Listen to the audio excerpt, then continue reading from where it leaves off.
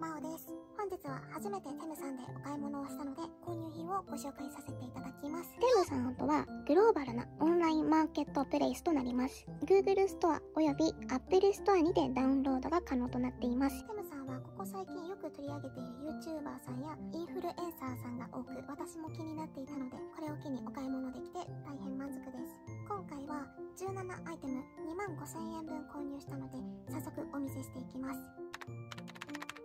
小さめなものをご紹介していきます。こちらはガラススクリーンプロということで iPad のガラスフィルムになります。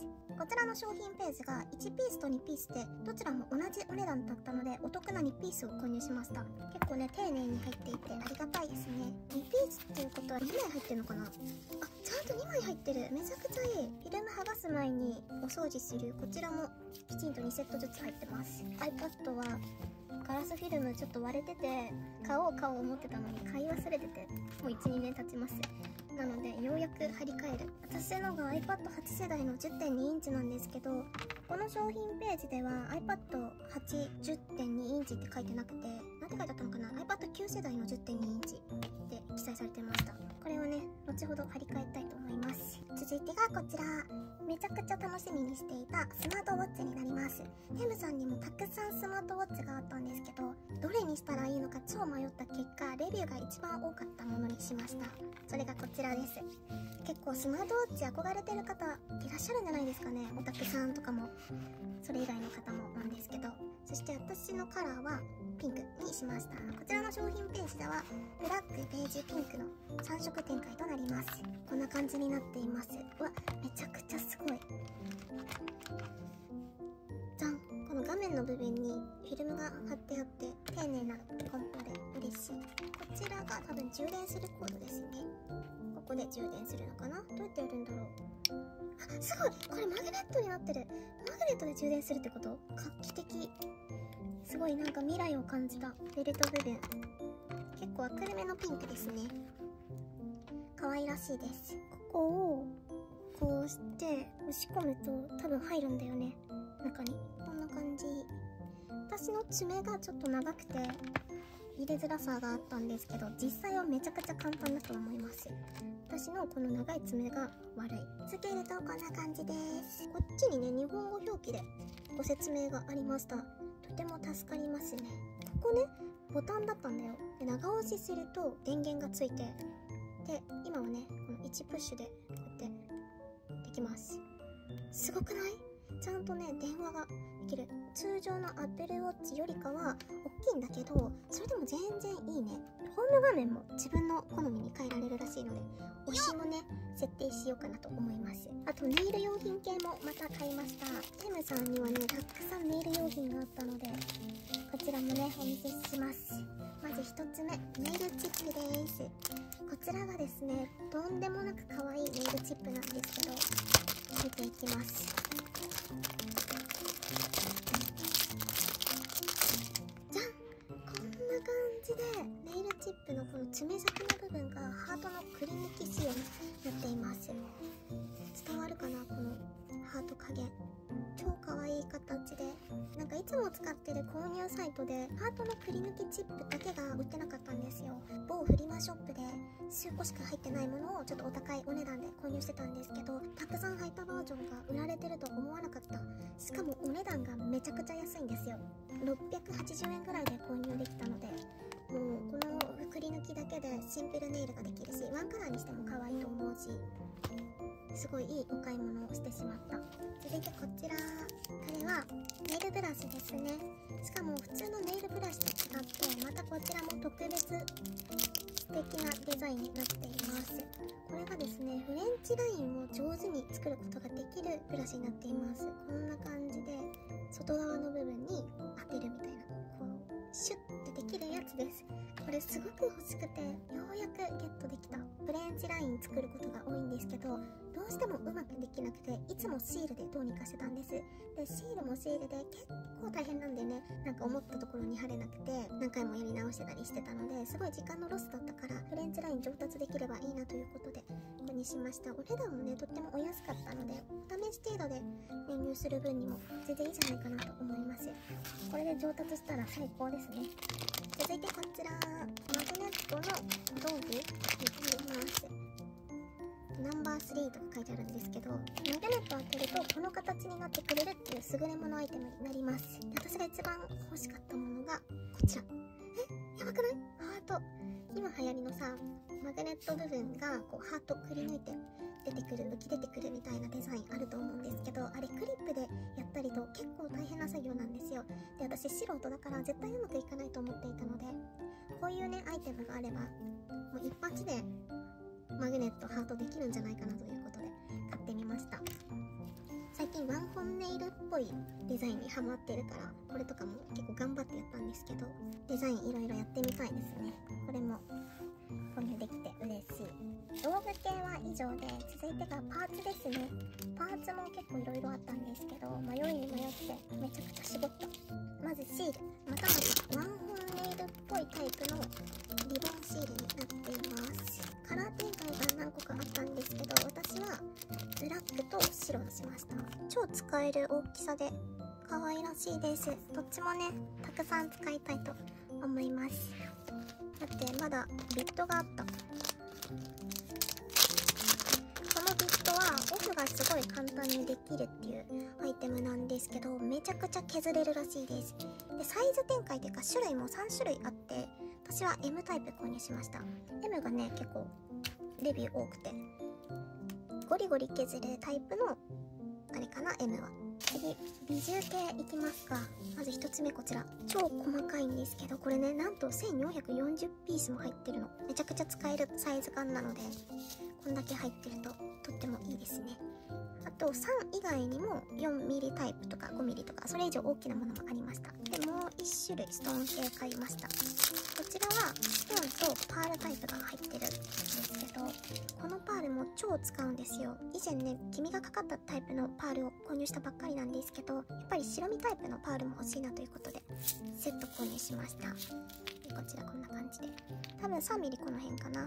私が一番使うのがこの辺なので。あとこれとか。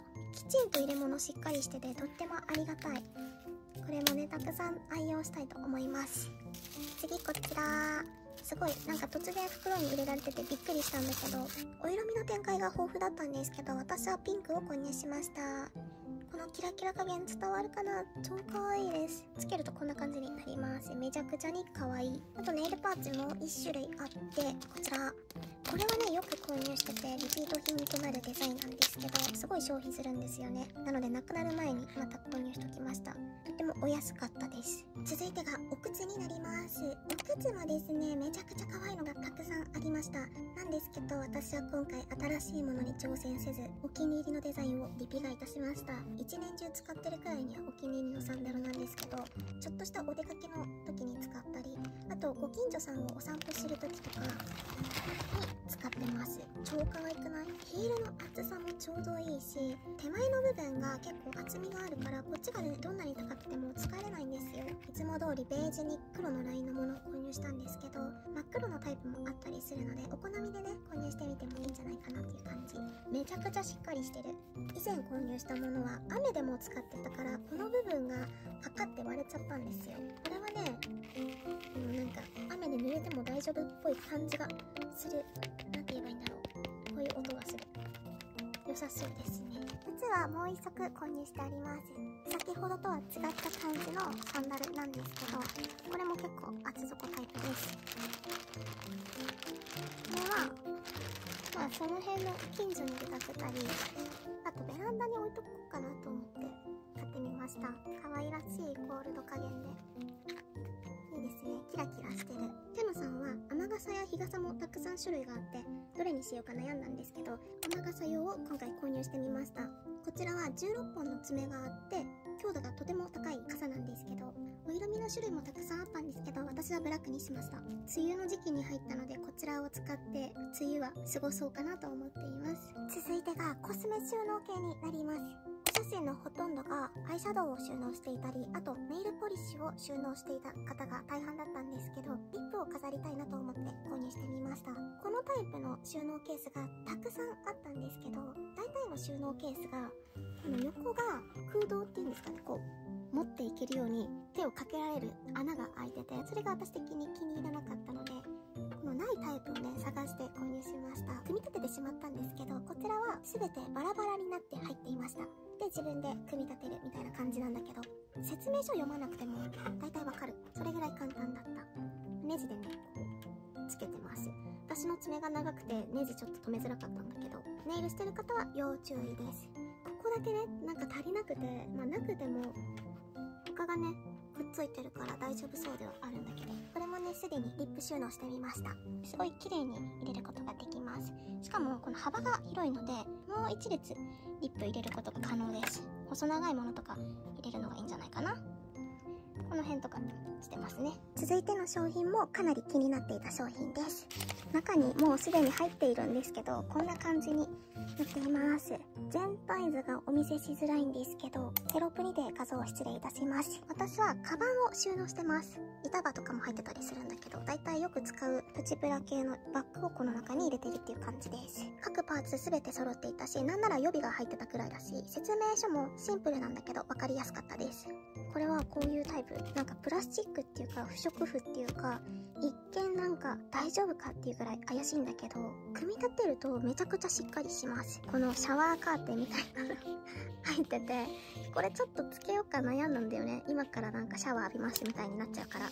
なんだけど、一応つけてみました。邪魔であれば取り外しも簡単にできるしっていう感じ。6段タイプを購入しました。6段2列っていう感じですね。6段って言っても、この部分は5段しかないんですけど、上の部分乗せて6段だと思います。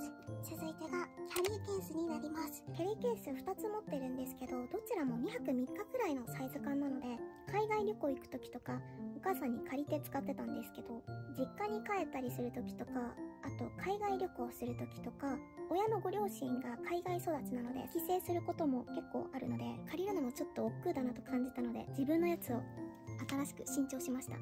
カラー展開が3色ほどあったんですけど、私はホワイトにしました。ホワイトのキャリーケースってなんかすごいいいよね。可愛らしい。で、このキャリーケースすっごく便利で、チョッパーとか購入した袋とかを下げられるようになってます。めちゃくちゃすごいよね。私が購入したものは、一番大きいサイズ、L サイズです。7泊以上お泊まりできるタイプのサイズ感。これね、ドリンクホルダーがついてるの。じゃん。やばくない？これが本当に欲しくて、私ペットボトルとかスタバとかめっちゃ飲むし、出かける時に傘立てとかないから、いつもお洋服濡らして持ってたんですけど、ここにね、吊るせばいいじゃんということで、ようやく新調できてとっても嬉しいです。開けてみると、じゃんこんな感じです。よくないか？ちゃんとこういう押さえるバンドみたいなのがついてて、ここで、こうやってできるみたいです。めっちゃいい深さも申し分ないですね、この辺。もう片方の方はチャックがついていて、メッシュタイプと、あと防水タイプっていうんですかね、がついてます。濡れたものとか乾かなかったらこの中に入れちゃえばいいっていう感じだと思います。チャックある方はこんな感じです。めちゃくちゃいい。これでさ、小さいキャリーケース、プラスにでっかいカバンをキャリーケースの上に置くっていうことをしなくて良さそうなので、新しくお迎えできてとっても嬉しいです。今後はこちらをたくさん使いたいと思います。以上でムさんでお買い物した17点分のアイテムをご紹介させていただきました。初めて見た商品とかもあったりしてとても新鮮で楽しかったです。そしてテムさんにお声掛けいただき今回は特別クーポンも配布していただいております。画像にあるクーポンコードを検索バーや概要欄にあるリンクをクリックすると30%オフが適用されます詳しくは概要欄に記載しているので、よろしければチェックお願いいたします。そしてもうお気づきかと思うんですけど、テロップにてご提示していたこちら2点のアイテムなんですが、概要欄にあるリンクをクリックしていただけると、ご新規登録限定で90%オフで購入することが可能です。すごい本当にありがとうございます。どの商品もすごくすごく良かったんですけど、特にお気に入りなこちらの2点を私セレクトでチョイスしました。どのカラーを選んでも、どのサイズを選んでも90%オフが適用されます。どちらもオタクさんのの強い味方だと思ってるんですが、スマートウォッチはオタクさん以外にも様々な方にもおすすめだし、オタクの方は推しを腕にね、常に一緒にいられるようにできるしっていう感じでおすすめだし、キャリーケースはオタクさんだと遠征が多い方だったり、それ以外の方だと旅行にね、使ったりもできるし、サイズ感もとっても大きいし、ドリンクホルダーもショッパーをかけられるフックもついてるということで、こちらもすごくおすすめです。購入する際の注意点なんですけど、リンクをクリックした後にそのまま放置すると、もしかしたらクーポンが執行してしまう可能性があるので、購入するって決めた時にクーポンを取得した方がいいと思います。多種多様なお支払い方法に対応していて、ペイパル決済、クレジットカード決済、Apple Pay、コンビニ決済も可能です。えっと、長くなってしまったんですけど、少しでも皆様のおたかつライフに貢献できたら嬉しいです。それでは最後までご視聴いただき、ありがとうございました。また次の動画でお会いしましょう。なおでした。バイバイ。